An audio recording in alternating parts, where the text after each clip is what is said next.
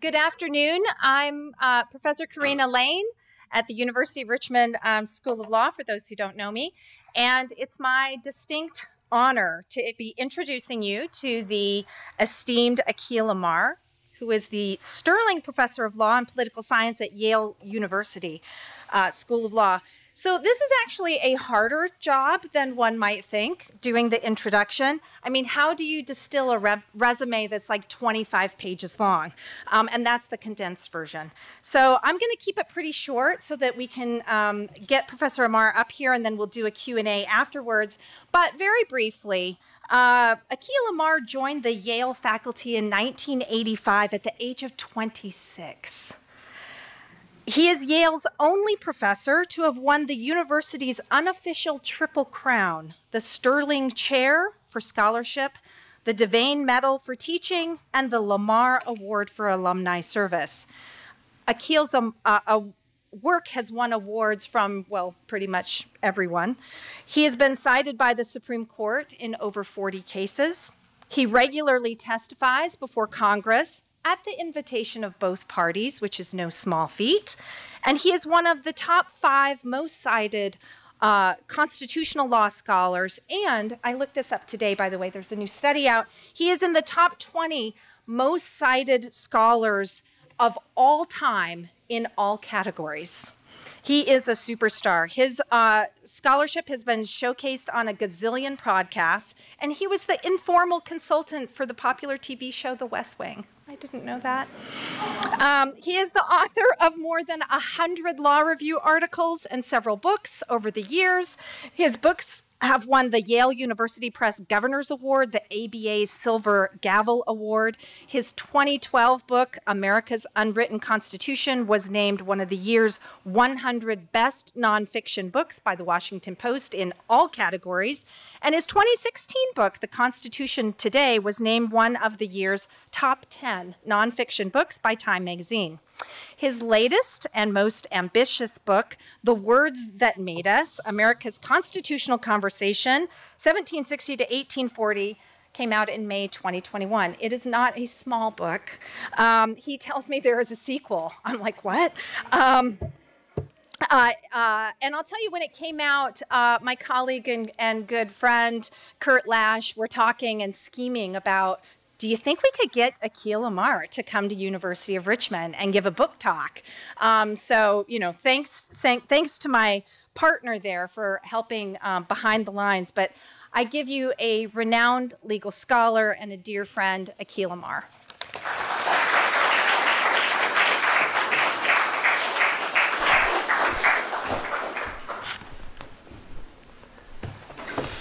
It's such an honor to be back here. I see my friend Kurt. Thank you so much, Karina, for that. Um, all you have to do is ask. I will always come here. This is one of my favorite places, and, and I have so many fond memories. And um, and truthfully, I just I, I'm so happy to to be anywhere, uh, frankly, because we're in person, and I've missed this. Um, um, when you write a book, you kind of fantasize about being on book tour and actually talking about your ideas with people. And then you see, we had COVID and I haven't been able to do that. So this is really kind of the first time I'm able to see people and uh, um, rather than just Zoom um, to talk about this book that um, yes means a lot to me. It's my most ambitious book. Um, it is long, but it, I hope it's. Um, people have said it's quite readable, and you'll be the the judges. I'm going to read to you from the last chapter. Um, the, the book is the first of three volumes. It's called The Words That Made Us, and it's a pun. Um, words that made the U.S. We're deeply divided now, and I think we need to come together as an us. And I try to tell a story. It's an honest story. I, I, I tell the bad stuff as well as um, the inspiring stuff. I, I, am an American exceptionalist, um, um, but I tell the story of how we became a we, how America, uh, uh, New Worlders became Americans. Um, and the subtitle of this one is America's Constitutional Conversation. We did that by talking with each other. We talked ourselves into existence as a people. Um, newspapers and, and pamphlets and, and debates um, and cartoons and political theater and, and, and uh, robust, uninhibited, wide open discourse of, of every sort uh, makes us um, a we. And the subtitle of this one is America's Constitutional Conversation. It's all about conversation, 1760 to 1840. So it's the first four score, to borrow a phrase, years. Um, volume two will be the words that made us equal, America's Constitutional Conversation, 1840 to 1920. And oh, in that one, I'm going to be using Professor Lash's work again and again and again because you know he's given uh, us all amazing access to some of the primary sources from that period, the, the, especially the, the, Civil War Reconstruction period, the, the second founding, the new birth of freedom. And volume three will be called um, The Words That Made Us Modern America's Constitutional Conversation, 1920 to 2000. So if God gives me enough years, that's the project. Um, and I'm going to read to you um, from the last chapter of this, um, and then we'll have a conversation. The last chapter, um, it, it's a little bit morbid in a way. It's called Adieus um, to God. Um, I bring some of the major, my major characters. This is, it, the, the book is about in significant part, the great men of the early period, but they're great men created by a society, uh, democratically, bottom up. So it's about, by acclamation, it's about many things, but by acclama- uh, the acclamation, the six um, found, uh, uh, uh, uh most notable founders are our first four presidents Washington, Adams, Jefferson, Madison, um, plus Franklin and Hamilton. Um, and they disagreed about things. They worked together, and then they were cross purposes. And it's it's you know and and what it means to be an American is to know that story in part. Um, and uh, in my last chapter, so it's chronological. I start the story a little bit earlier than most folks, 1760. I take it up to 1840, and in that last decade, I'm the last of the the initial founders passes from the scene. There's going to be a new generation after that. But in this last chapter, it's very cinematographic. It's like a, a movie of a certain sort. Um, um, uh, so um, in my last chapter, I bring my big characters back on stage um, one last time and kill them all off. Um, and um, so that's this chapter. it's a little bit like Hamlet, you know, the last scene of Hamlet or something, when just the stage is littered. None of America's greatest founders composed a grand letter to his countrymen on his deathbed. Still, Americans searching for implicit farewell messages did not have far to look. Franklin went first. He died as he had lived, trying to better himself and the world. He was always tinkering, always inventing, always self improving. He believed in progress, and he saw both himself and his country as works in progress. Some of his progressive ideas involve science and technology the lightning rod, bifocals, the Franklin stove. Other progressive ideas were more social and political a lending library, a volunteer fire company, philosophical society, a non sectarian university, the intercolonial Albany Plan. In 1787, just days before the start of the Grand Federal Convention, Franklin accepted the presidency of the world's first notable abolition society. Now, I've already just told you something amazing you know, notwithstanding what Hannah Nicole Jones in 1619 are telling you. America is the home of the world's first abolition society. The, all societies pretty much in the world had slavery or unfreedom of some sort or other and had the idea of freeing slaves, like Ben Hur, if you've seen that, or if you incline instead toward comedy, a funny thing happened on the way to the forum, slaves becoming free. Okay?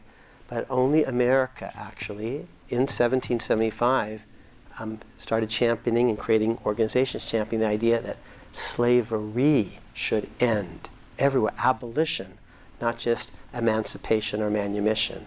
Okay, so I've already told you something actually pretty big. Um, Franklin had bought and owned slaves earlier in his life, doubtless influenced by his Quaker surroundings, but also moved by Enlightenment philosophy, common sense, and grand strategy. He eventually came to see that slavery was wrong, that it should end, and that America should lead the way. Knowing that death was near, he decided that within America he himself should lead the way and make abolition his last great cause, his last gift to America and the world. As president of the Pennsylvania Abolition Society, Franklin signed a petition in early 1790 that reached Congress on February 12, 1790. Exactly 19 years later, a magic number for Thomas Jefferson. He thought every constitution should, should evaporate every 19 years. Exactly to the day, 19 years later, Abraham Lincoln and Charles Darwin would be born see, on the same day. Uh, a multiple coincidence about moral and scientific progress that surely would have delighted Franklin. So, arguably, the two greatest figures of the 19th century Abraham Lincoln in politics, Charles Darwin in science, February 12th, 1809, same day, exactly 19 years after Franklin introduces this anti slavery petition. So, how cool is that? Franklin's petition was direct and earnest. This was one side of Franklin. Paraphrasing the Declaration of Independence, on whose drafting committee Franklin had served, the petition proclaimed that, quote, mankind are all formed by the same almighty being and, and equally designed for the enjoyment of happiness. Equal liberty was originally the portion and is still the birthright of all men. Unquote. From these basic premises flowed the petition's conclusion and prayer for relief. Congress should, quote, remove this inconsistency from the character of the American people and step to the very verge of power vested in you for discouraging every species of traffic in the persons of our fellow men. Unquote. Congressmen from the deep South raged at the very idea of even discussing slavery. Georgians and South Carolinians insisted that even consideration and discussion of the issue was, quote, unconstitutional and tending to injure some of the states in the Union, unquote. When this extremist gambit failed, Georgia's representative, James Jackson, returned to center stage to defend American slavery with a flurry of arguments. America's economic development required slave labor, he said. Blacks were suited for the work that needed to be uh, that needed doing in climates that were unhealthy for whites. If, American, if America refrained from using slaves in such land, Spain would fill the vacuum and in a short period dominate various lucrative markets. It was immensely preferable, that's a quote, um, to be a slave in America than to remain in Africa. Once freed, blacks would be unable to intermingle and intermarry with most whites who would not want to associate with them or help create a motley breed of mixed race offspring. Sending blacks to Africa was impracticable. Custom and habit deserved respect. The Bible blessed slavery. Franklin countered with a lovely satire in the press. This was another side of Franklin. This would turn out to be his very last journalistic piece, and it poetically recalled his very first journalistic hoax, when, as a teenage lad, he had puckishly posed as a middle aged matron, Silence Dogood. And those of you who've seen National Treasure will remember that scene, of course. Franklin likewise published his 1790 parody under a pen name, but no one who knew him could miss his signature style and sly wit. The piece pretended to be an earnest letter to the editor, telling readers about a 1687 debate among Algerian Muslims concerning their customary practice of enslaving European Christians. And here's the, the, the block quote. Reading last night in your excellent newspaper the speech of Mr. Jackson in Congress against their meddling in the affair of slavery or attempting to mend the co- uh, condition of slaves, it put me in mind of a similar one made about a hundred years ago since by um, uh, Sidi Ibrahim, a member of the Diwan of Algiers. It was against granting the petition of the sect called Erika, or purists who prayed for the abolition of piracy and slavery as being unjust. Mr. Jackson does not quite quote it uh, in his eloquent speech, um, uh, despite its surprising similarity. The African speech, as translated, is as follows, and then this is a quote. Have these Erika considered the consequences of granting their petition? If we cease our piratic cruises against the Christians, how shall we be furnished with the commodities which are so necessary for us? If we forbear to make slaves of their people, who in this hot climate are to cultivate our lands, must we not then be our own slaves? And is there not more compassion and more favor due to us as Muslims than, the, than to, the, to these Christian dogs? And if we set our slaves free, what is to be done with them? Few of them will return to their countries. They know too well the great hardships they must be subject to there. They will not embrace our holy religion. They will not adopt our manners. Our people will not pollute themselves by intermarrying with them. And what is there so pitiable in their present condition? Were they not slaves in their own countries? Is their condition then made worse by their falling into our hands? No! Here they are brought into a land where the sun of Islam gives forth its light and shines in full splendor, and they have an opportunity of making themselves acquainted with the true religious doctrine, thereby saving their immortal souls. How grossly are they mistaken in imagining slavery to be disallowed by Quran? Are not two precepts, to quote no more, quote, Masters, treat your slaves with kindness. Slaves, serve your masters with cheerfulness and fidelity. Clear proofs to the contrary? Of course, Franklin's tongue in cheek, topsy turvy, reversed everything, a classic satirical move. In his alternative universe, dark skinned Africans who deemed themselves racially and culturally superior were enslaving light skinned European folk. Christians were the slaves, not the masters. The Erika, the phonetic, the phonetic ending syllables of America, were almost, an almost anagram of the Quakers. The scriptural passages came not, as claimed, from Quran, rather they were the very biblical texts that Representative James Jackson from Georgia had himself quoted.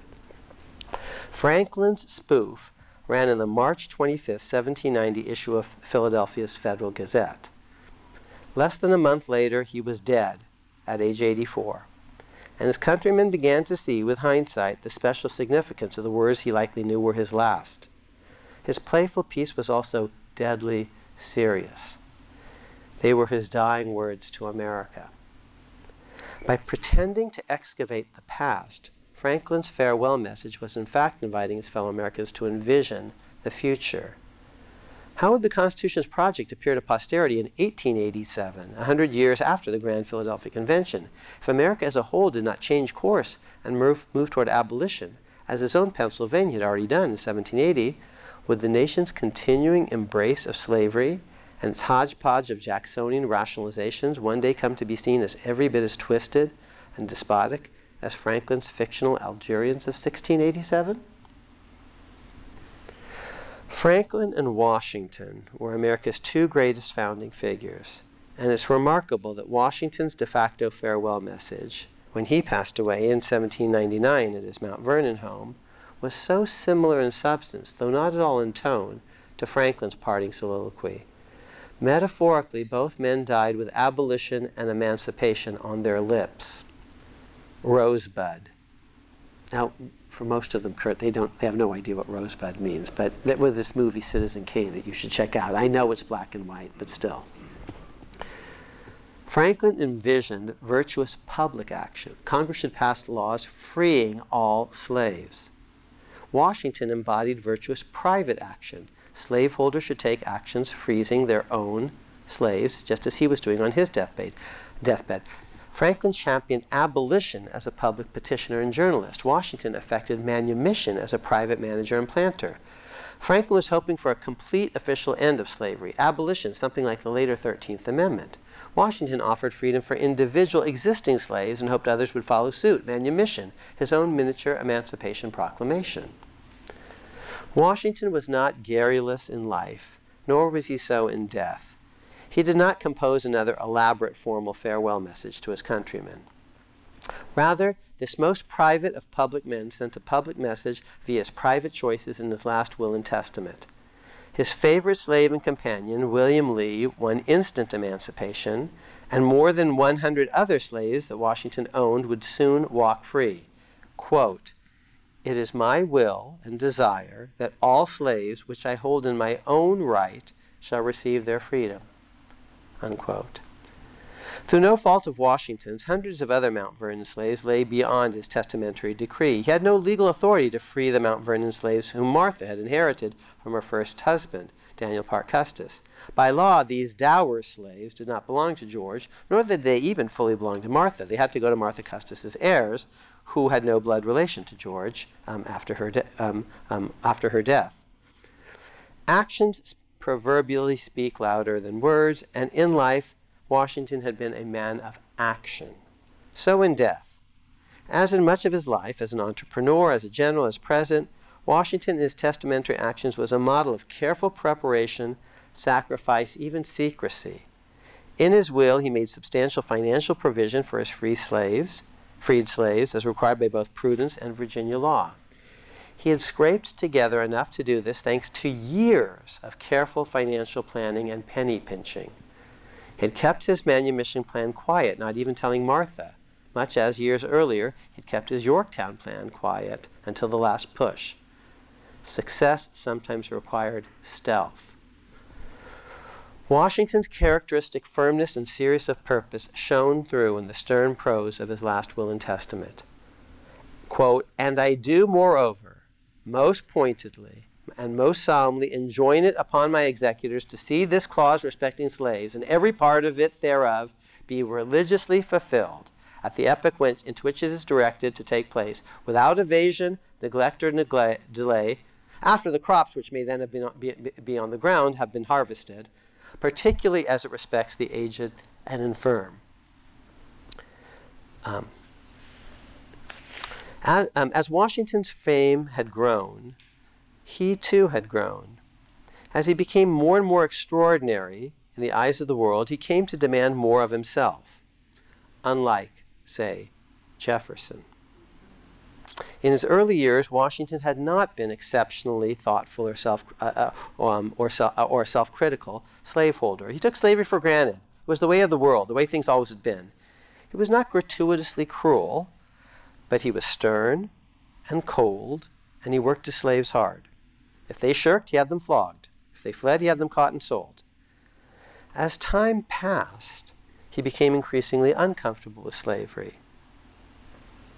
He vowed to stop buying slaves and resolved not to break, them, uh, break apart slave families on auction blocks.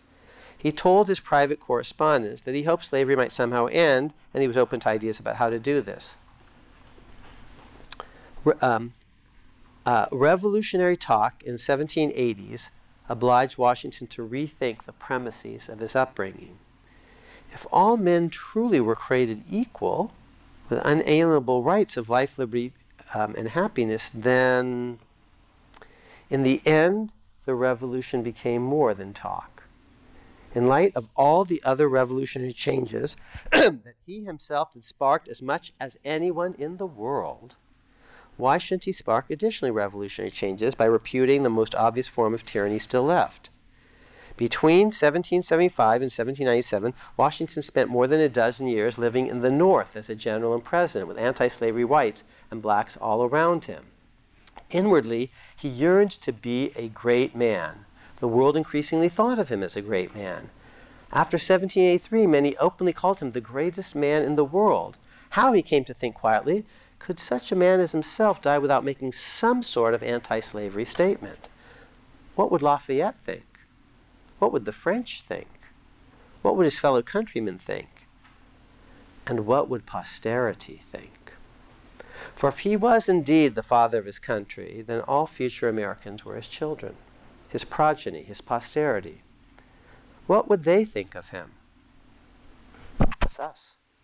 Much as the Philadelphia drafters, led of course by Washington himself, had laced the document with democratic sweeteners in anticipation of the democratic ratification process that lay ahead, so now Washington self consciously thought about the future democratic ratification process that would determine his own enduring reputation and fame.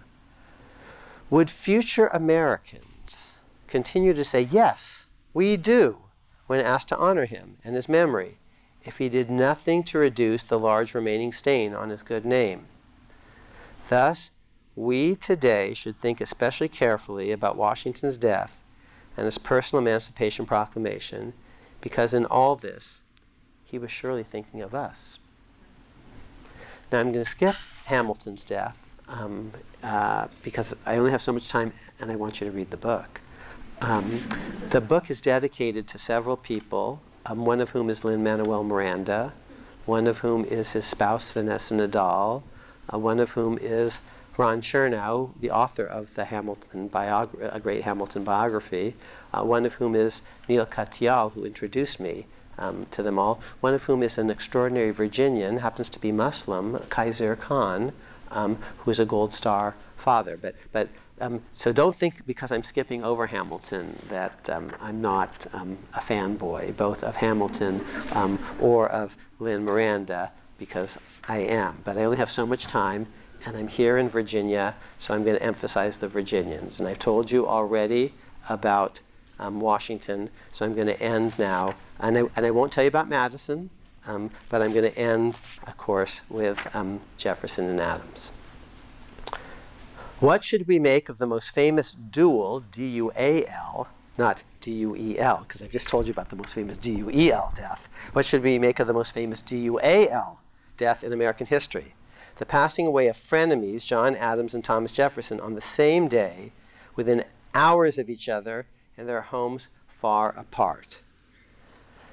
The most important facts that require analysis hide in plain view. What's amazing is people haven't seen what's the, the obvious takeaway here, you know, until I come along. Okay.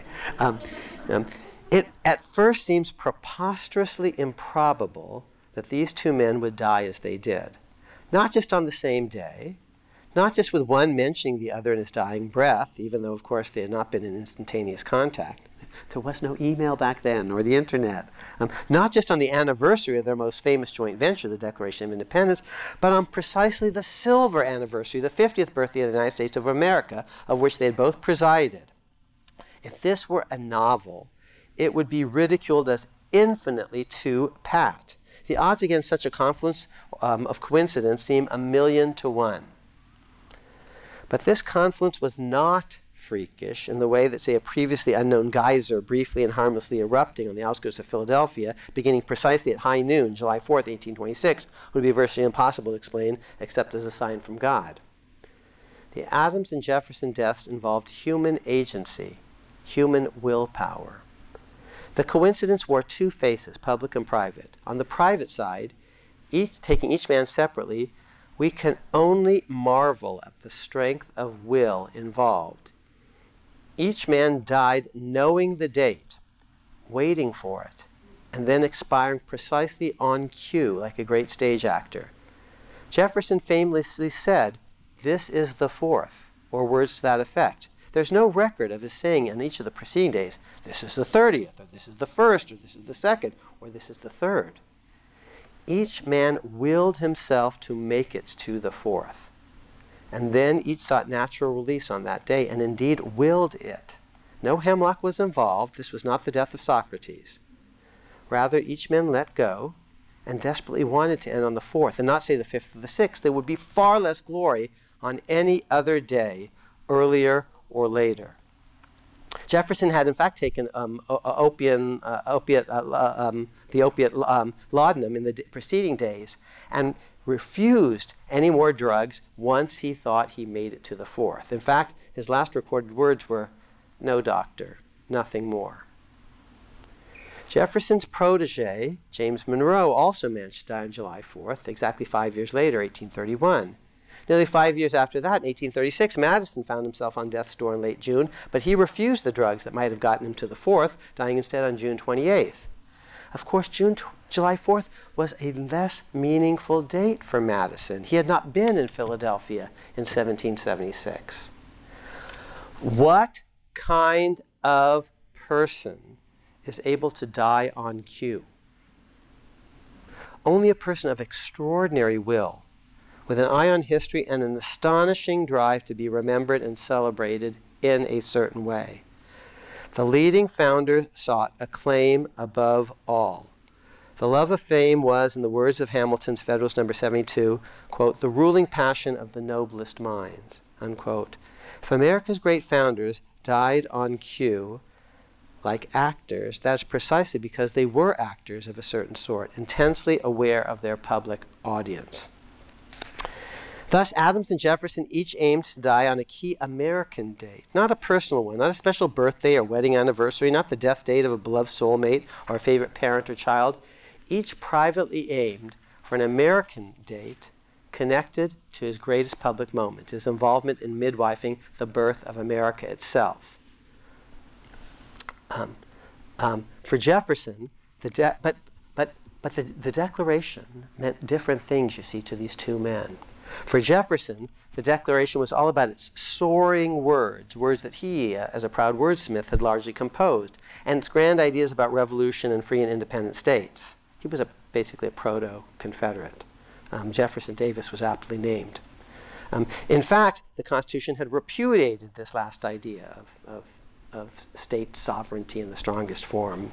Um, pro, um, Jefferson never understood this because he was off in France, you see, at the time, chasing women and drinking wine. Um, he was, um, as has been now been seen, an intensely willful man, and he could not see what he would not see, just as in the end he could not die on any day other than the day of his choice. Jefferson's attachment to the Declaration, his sense of special authorship of it, is the unmistakable message of his grave, gravesite inscription, instructions for which he had composed well before July 1826. On the face, of, and this is from his uh, diary, on the face of the obelisk, the following inscription, and not a word more. Quote, here was buried Thomas Jefferson, author of the Declaration of American Independence, of the Statute of Virginia for Religious Freedom, and father of the, United States, uh, the University of Virginia. Because by these, as testimonials, I have lived and I wish to be most remembered.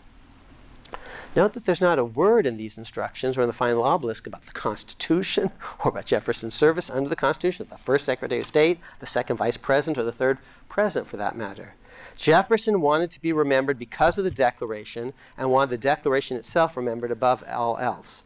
How perfect it would be if he could make it to the Silver Fourth. How imperfect it would be if he lasted past that day. His death plan was thus set long before the Silver Fourth, as was his gravestone inscription. To be sure, the gravestone itself was not yet inscribed, but the plan to carve it in stone, to carve in stone, his reference to the Declaration, was indeed already metaphorically carved in stone. Adams's death on July 4, 1826, shows that he too was a man of truly extraordinary will and inner strength, every bit as able as Jefferson to live as long as he had to and then die on a dime for fame. Indeed, Adams had to make it past his 90th birthday, whereas Jefferson perished at age 83.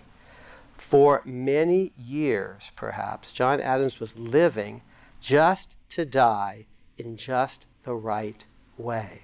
Like, My God, what, what kind of people are these? But there were obvious differences between the two men who seemed to die in perfect harmony. Adams was obsessed by Jefferson, but not vice versa. Jefferson made no recorded mention of Adams at or near the end, whereas Adams's last words were, Thomas Jefferson still survived. Survives. In fact, Jefferson had predeceased Adams by a matter of hours, though, of course, there was no way for Adams to have possibly known this fact, given the time it took for news to travel. There is something oddly, there's something oddly apt. I'm, I'm about four minutes from conclusion. There's something oddly apt in old Adams's last words. And one aspect of that aptness is that old Adams was in fact wrong. As was seen in my first chapter, you know, old Adams in his declining years often got things wrong, but wrong in ways that nonetheless were then and remain today deeply revealing. What then was so significant about the false line about Jefferson? First, with this reference, Adams wanted his collaboration with Jefferson remembered. Adams had once been a team player. He lost that skill as he aged, but his partnership with Jefferson in 1776 was indeed among his greatest moments. Second, even as Adams died with a revealing rosebud on his lips, Jefferson. The error in his reference should remind us that he and Jefferson were not quite in sync. There was friendship in Adams's dying breath, but also rivalry. The two men were emphatically not peas in a pod, even though they were together in 1776 and died together and apart exactly 50 years later. They were not best friends, even if Adams said so and believed it so. They were at best intensely rivalrous friends, frenemies, we would say today. The two in death wanted America to remember entirely different things. Jefferson wanted the words and the state sovereignty principles of the Declaration of Independence remembered. Adams wanted Adams remembered. The fact that he and Jefferson had been in the room when it happened, that's a Lin Miranda reference, um, when even Washington was not in the room.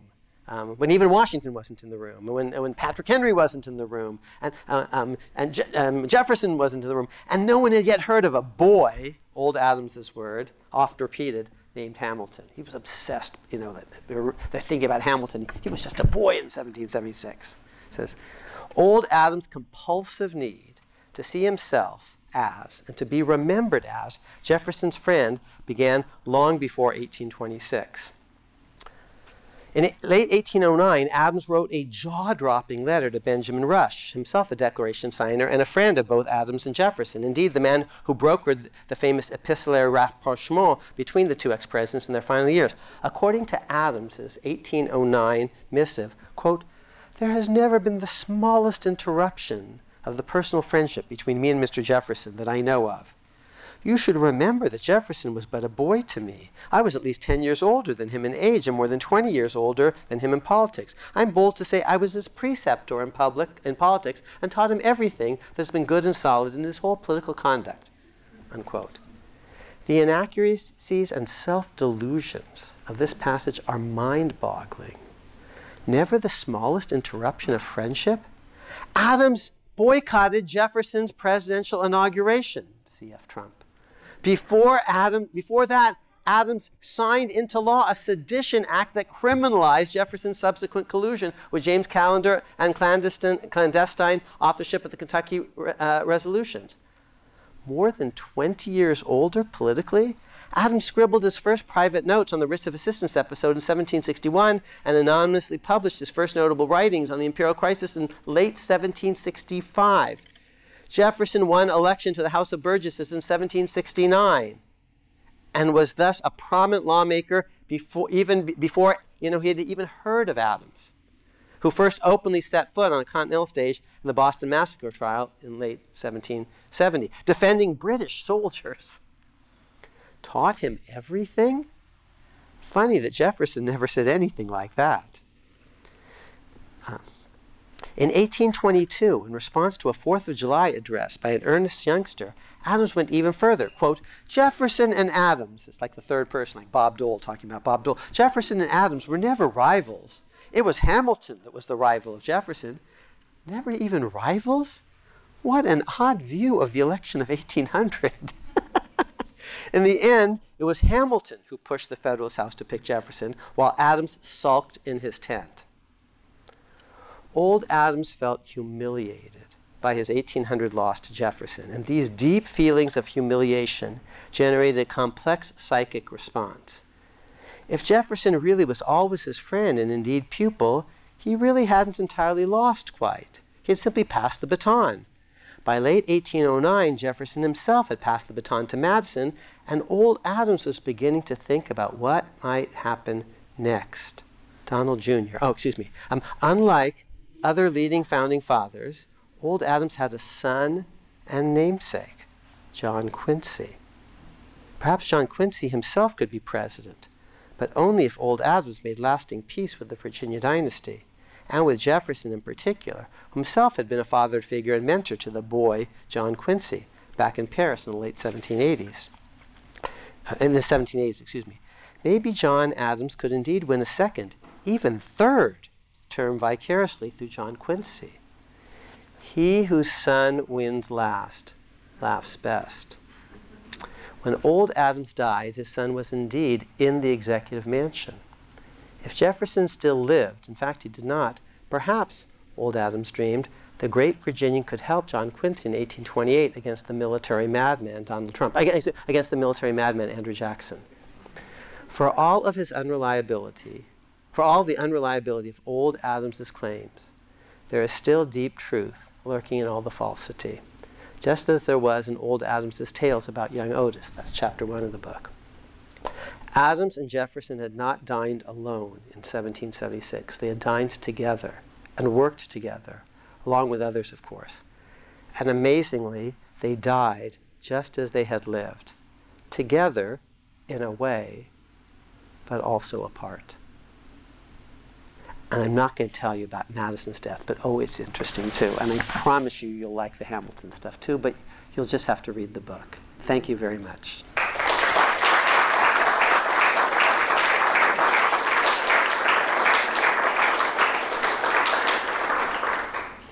Okay, we've got, I hope, some time for questions, right? I haven't filibustered too much. I filibustered a lot, but, but yeah, we, we have some time. And by the way, Kurt, I just am getting a text from a former student of mine who just tells me I'm so happy um, that everything worked out. I, I, can't thank you enough for all your advice and support. I just he just accepted um, uh, a, a, a, position, you know, just like and I remember. Uh, Kurt, when, when you got your first offer and how happy you were, what, whatever happened to you? you know. um, but um, so so uh, anyway, so that, that that's poignant for me that that just was coming through. In case you heard the buzzing in my, my cell phone, that was a, a former student who just got a teaching job at a at a at a great place, perfect position for him. Um, actually, Hamilton's alma mater, uh, Columbia. Um, okay, what do you want to ask me? Ah, Mr. Taft. Stephen Taft, was it? Uh, yes. Okay. Uh, thank you so much. Um, I was wondering, um, given that Jefferson uh, expressed a lot of reservations about slavery during his life, perhaps more publicly than Washington did, um, and give, I mean, given that he wouldn't have have lost anything personally by um, uh, freeing them upon his death, and he was also bankrupt, so it wouldn't make much difference anyway. Um, uh, why do you think he neglected to do that? So if you had met me, I know where I am.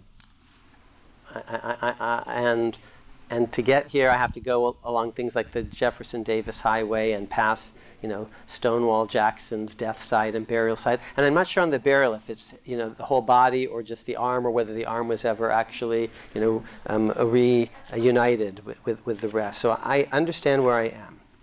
Um, but here's actually what I say about Jefferson. So if you had met me um, at age 20, I would have told you, oh, if I'm ever lucky enough, if God ever, you know, to have a son, you know, if God ever gives me a son, um, I'm going to name him Jefferson. Okay.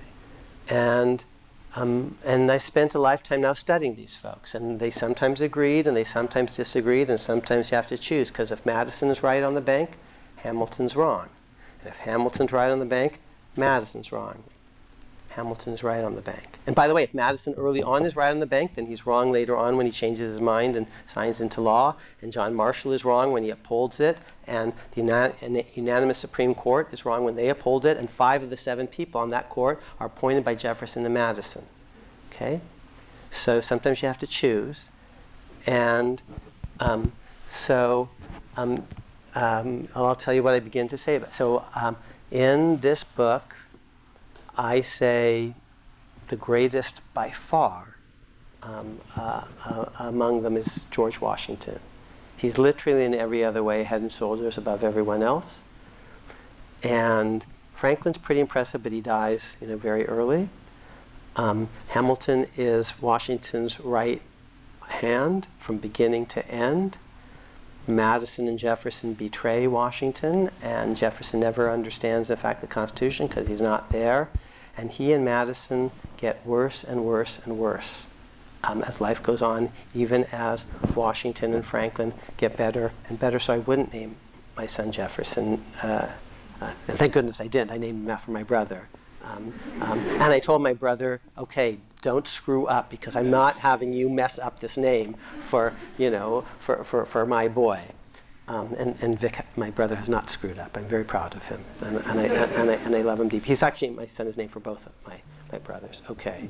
So um, I'm an old guy now, and here's what I'm telling you. You can't change the past. Made a lot of mistakes, but you can change the future, and some of you. So, deep question, do you get better over time or do you get worse? I've just told you mm, Franklin got better. Washington gets better. Jefferson and Madison get worse. They need to form a political party because John Adams has made it a crime to criticize John Adams. You know, Vladimir Putin makes it a crime to criticize Vladimir Putin. Donald Trump wanted it to be a crime to criticize Donald Trump. This is not good.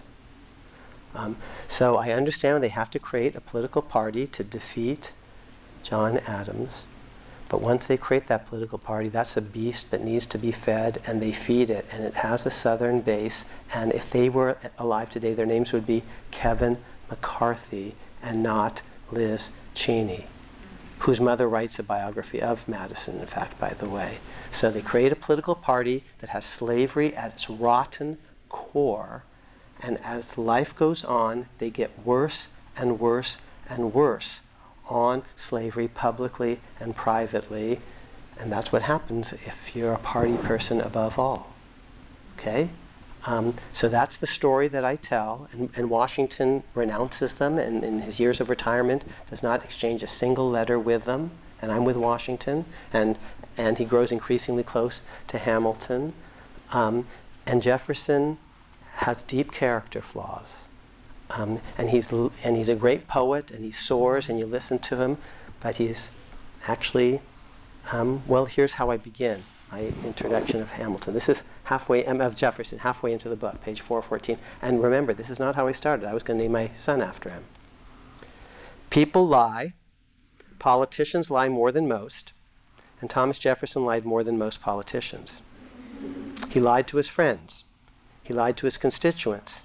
He lied to Washington, and he lied to himself. Thomas Jefferson was also undeniably one of America's most important founders. At his best, he championed principles of freedom at the very foundation of America's constitutional conversation. As president, he achieved one of America's greatest diplomatic and geostrategic triumphs, the Louisiana Purchase. Flanked by James Madison, he also created an extraordinary conversational machine, a national political party backed by a national newspaper network that dominated American politics for six decades.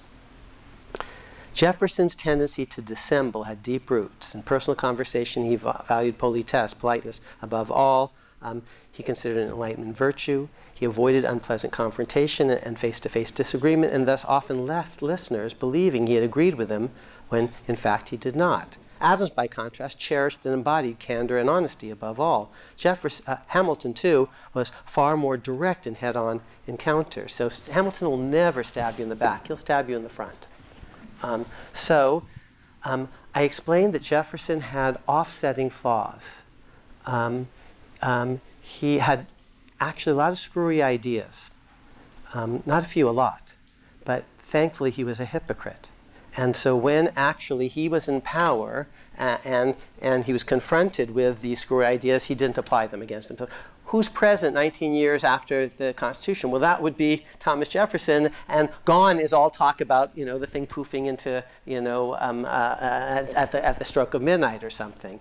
Um, uh, so he gets, he becomes, as a young man, he says we should get rid of slavery everywhere as an old man, he's opposing limits on the extension of slavery. Um, the, the, that's the Missouri Compromise of, of 1820. James Madison is saying the Missouri Compromise is unconstitutional, which is the same bullshit that Roger Taney will pronounce in Dred Scott, that it's actually illegal to, to prohibit slavery in the church. That's preposterous. These are the people that Jefferson authors the Northwest Ordinance that actually prohibits slavery in words, you know, uh, that will actually become the words of the 13th Amendment. Kurt is nodding his head. And James Madison gets it through the first Congress, and they abandon all that because they actually have to feed the party base. Kevin McCarthy, read this book. Okay?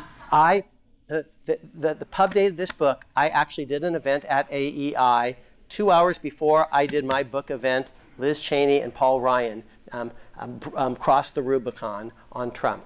Same event. Um, um, so, and you can agree with her or disagree with her, but she's not putting party above all else. This is a problem. You believe the other party's bad, is evil, and ha- it has to be defeated. But when you put your party above everything, Kurt and I love Abraham Lincoln. He is a party man, but the, his party is not quite corrupt. It will become corrupt, become the party of Grant and McKinley and railroads and Lochner and, and not uh, actually a champion of um, uh, uh, freedmen and, and uh, of the Bill of Rights. So, oh, you got to read the book because everything that you know about these people may not be right. And I'm going to, so I say the idea that the, it's Mad, the Madison is the father of the Constitution is preposterous. It's just embarrassing. Washington is the father of the Constitution. People vote for it because it's Washington. He's the unanimously selected presiding officer. People vote for it because actually he's going to be the first president. He's unanimously selected president. He's unanimously reelected president. No one, that would be true of no one else. Madison succeeds only when he works with Washington and not thereafter. Washington empowers Jefferson to be a Secretary of State and Hamilton to be a Secretary of the Treasury. It's Washington, you know, from, from uh, the beginning to end. None of Madison's distinctive ideas actually prevail at Philadelphia. None of them that are genuinely Madison's ideas. No one pays any attention whatsoever to the Federalist number 10 at the founding or the first 130 years thereafter. I give you all the evidence for, for, for this. If you had a good argument for why you'd vote for the Constitution, why would you wait till your 10th op ed to make it? You wouldn't. You see, the important Federalist papers are the ones that Hamilton writes early on, which are the following Unite or Die, which is Benjamin Franklin's idea. Because if we don't form an indivisible union, um, we will actually be speaking Russian or German or French or Spanish or English, but it's going to be the Queen's English. Because you know what happens to small little places? They like Latvia, Lithuania, Estonia, you know, um, um, Ukraine. They get gobbled up by thugs and tyrants. That's the argument that would persuade an ordinary American why you actually need to create an indivisible union.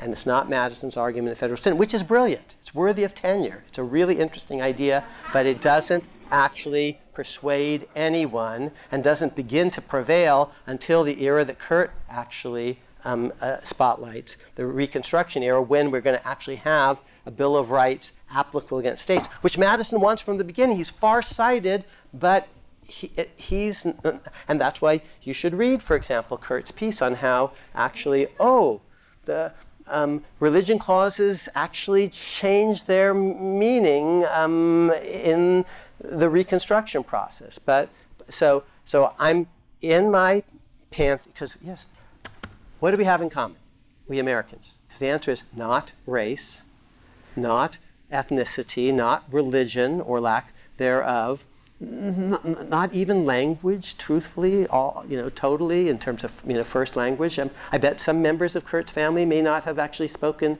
um, English as their first language. They may not have. He's nodding his head. Okay, so what do we have in common? And and some of our ancestors came hundreds of years ago, and some people's families came last year, and some came with bullwhips, and some came in chains. What we have in common is our Constitution our institutions, the presidency is the same thing that it was in, you know, plus or minus in George Washington's day, you know, through Lincoln and, and Franklin Roosevelt and, and Ronald Reagan and, and, and, and today. We have our institutions, we have our, our sacred texts like the Constitution, the Declaration of Independence. We have certain principles that we're dedicated to, and, you know, um, conceived in liberty and dedicated to the proposition that all men are created equal. Um, and we do have actually our icons, our, our, our heroes, our fathers. They're not my fathers, but I can, I can adopt them. I can choose to become a total American, and I have, and you can too. Oh, but now we're going to actually have to talk about them because they didn't all agree on everything. And in my rendering, you're going to have to decide whether you're a Washington man or a Madison man on, on, on the Bank of the United States or on a carriage tax or on all sorts of things. So in my ranking, Washington and Franklin actually ranked pretty high, Washington above all. Hamilton moves up. Lin Miranda was onto something, as was Ron Chernow, and they were anti-slavery, um, uh, basically. And, and Jefferson and Madison actually, the, who are also Virginians, moved up. But you, my fellow, you know, my, my, you know, my Virginians, you can't, you know, um, embrace both Washington and um, Madison, Jefferson across the board because they were at cross purposes, and you're going to have to choose choose Washington. And he's not perfect, I told you, but he gets better. They get worse. Jefferson cares too much about wine, women, and song, and himself. He's not allowed to actually free his slaves unless he's financially provided for them. And Washington scrimps and saves for years can, so we can do this. Jefferson's slaves are sold on auction blocks because he's too damn selfish to actually care about them. Okay? So that's what I've come to believe, and that's why my son, you know, I'm glad I didn't name him Jefferson. so I'm answering a very straight question because you see, I thought what you thought when I was your age um, about Jefferson. No, you were kind of, you know, more um, positive about him the more I sp- more time I spend with Abe Lincoln, the more I admire him. He's not, you know, no one's perfect, but wow. Um, and Jefferson has disappointed me. You're hearing, um, you know, kind of a, uh, you know, um, uh, a lover who you know, is, is, is now disappointed when he sees the infidelity, you know, in his beloved. okay, what else do you want to ask me? You want to point to the one you yeah, want to please. Hi, um, my name is Navreet Buddha, and um, it seems like you studied these men a lot, and you've really understand them. And from what I understand, these all these men consider themselves to be Enlightenment thinkers. And one of the things that I've had a hard time, and I've never really seen a real answer to, is how do these Enlightenment thinkers, even when they're Enlightenment thinkers, they owned slaves, they had slaves, and they bought and sold slaves, and sure, later in their years, they gave up those slaves and they used Enlightenment ideas to give up those slaves. But do you know how they may have justified? Sure, and I talk about it in the book, so. Good plug. Let's be straight. You know, how many people in this room um, eat animals? You know, how many in this room it, um, uh, uh, are complicit, if you're pro life, in the the, the slaughter of um, um, innocent unborn human life, complicit in some way. Um, or on the other side, if you are a believer in, in the death penalty, you know, um, are pro-death, you know, from a certain point of view. Um, how many of you are, you know, are in all sorts of, of ways contributing to the um, burning up of our planet? it's so easy to, to look back on past figures and say like how could they have done that you know um, and it's, it's way too easy when you're 22 years old so i'm actually going to tell you ooh what will the future think about us so so that's one thing so now let me contextualize it i mentioned it very briefly um, but let me remind you no society in the history of the world advanced society um, um uh, was uh, um, basically without slavery or forms of unfreedom. Then, then the, the, indigenous peoples in North America and South America, the Aztecs and um, uh, Incas and Mayas had forms of unfreedom and, and, and slavery. Um, so, so did um, you know, um, Asia, so did all of Europe. To repeat, no society, the only thing that societies had um, were ideas of freeing individual slaves. It's in the Old Testament, it's in the New Testament. It's, um, I said in Ben Hur, which is written by Civil War General Lew Wallace, or Funny Thing Happened on the Way to the Forum, um, which if you've never seen it, you must. Oh, and Sondheim just passed away. It's one of Zero Mostel's amazing performances, along with Tevye and Fiddler on the Roof and the producers, but also a great cameo by Buster Keaton. Um, uh, so, um, yes, yeah, I mean, great. Um, okay, so the ancient world had the idea of freeing slaves. It did not have the idea of ending slavery. So the question to ask is not how they could think that, because no one sort of thinks about the world from the ground up except a really, you know, extraordinary philosophical intellect. You know, you know, you, do you think like, like why do we have gravity? Why does the sun, you know, rise in the east and, and set in the west? Why is the sky blue? Um, uh, so, you know, we just take so much for granted. It's just how the world works, how we've, you know, it's just our, our, our mental furniture. So the extraordinary thing um, is, and it is a tribute to the Enlightenment, um, that they would begin to think, oh my God, this is, um, and, and they're religious too, so, oh my God, this is, this is, um, um, this is sin. And, and this is wrong because all men are created. See, that, that's actually a divine reference, you know, um, e- um, um, uh, equal. And if we're all really created, and Jefferson, he's a wonderful wordsmith, but he often doesn't really all the way down. He, he loves the soaring prose, but, but, he, but he's a hypocrite too, you see, in, in some ways. So um, um, I do not justify what they've done, what they did, but I try to explain it understand it because I am an historian and I need to understand. Um, um, so here's what I can tell you on none of the issues of this early period, the founders are deeply imperfect. I talk about women, slaves, and Native Americans in particular. And I say, you know, it's complicated, but I will say the following. On none of these issues were the British any better than the Americans. In fact, in general, they were worse. And cards on the table, in part, I understand that viscerally because my parents were born in undivided India under the Raj, and let me tell you, the Brits are no saints. So, all this stuff that you're hearing about Lord Dunmore and all the rest from Nicole Hannah-Jones, it's not quite true, in fact.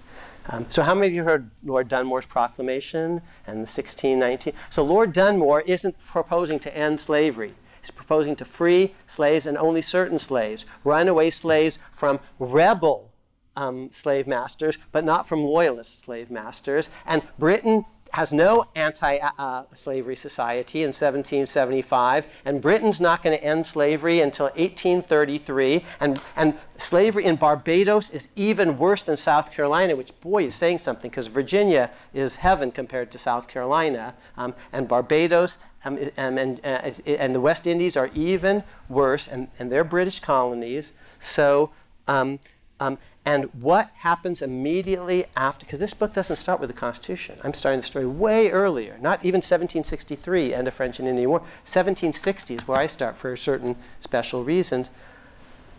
Here's what happens the American Revolution immediately precipitates abolition in much of the North.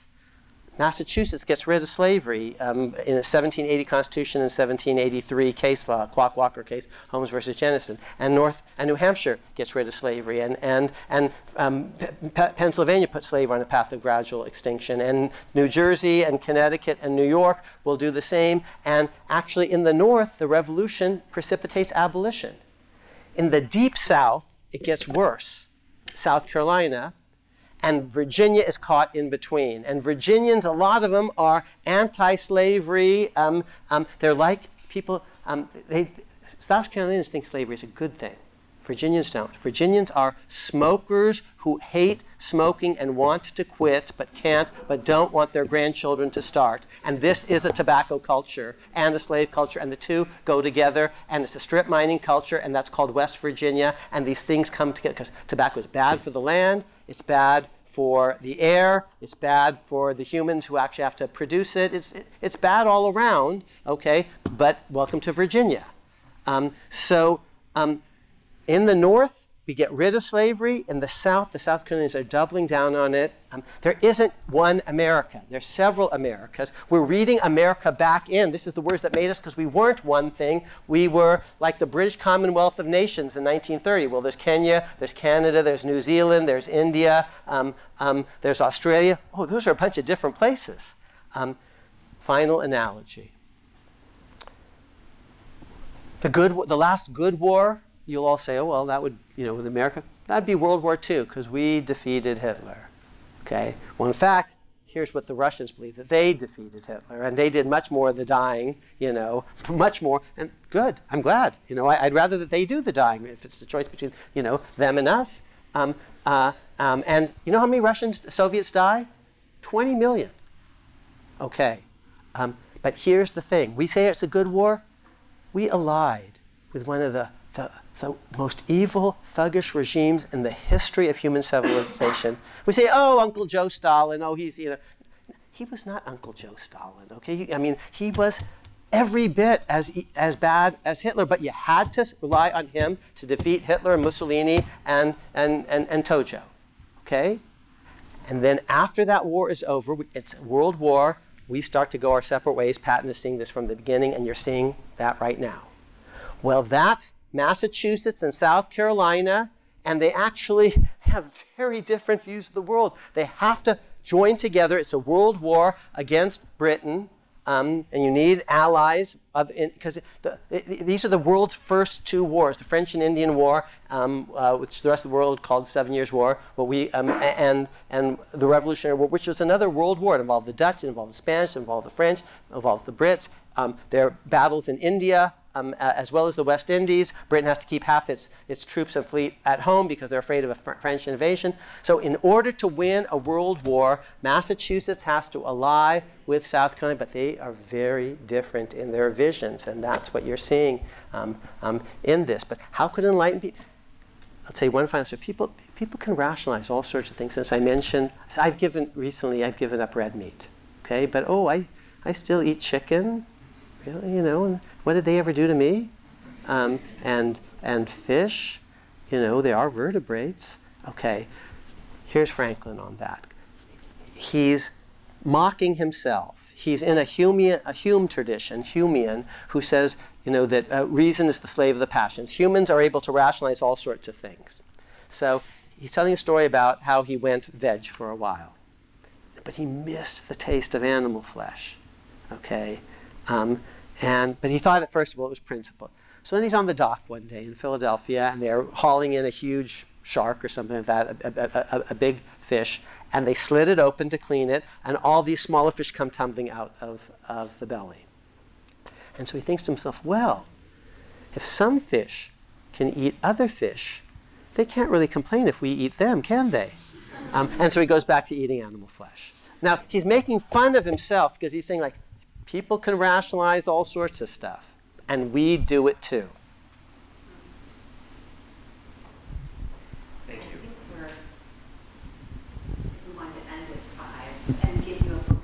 Okay, um, at the book signing, I'm happy to talk with you, even if you don't want to buy a book or anything. I'm happy. I'm, I'm still happy to, to, to, talk to you. I'm sorry I filibustered a little bit too much. My apologies, but but they were such great questions that they invited. I think um, you know, uh, broad answers.